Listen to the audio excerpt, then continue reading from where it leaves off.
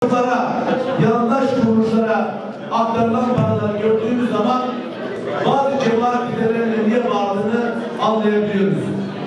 Kendini devletle vakıfla konumlandırarak çok çeşitli insanlar İstanbul Büyükşehir Belediyesi'ni nasıl durdurmadığını hep beraber.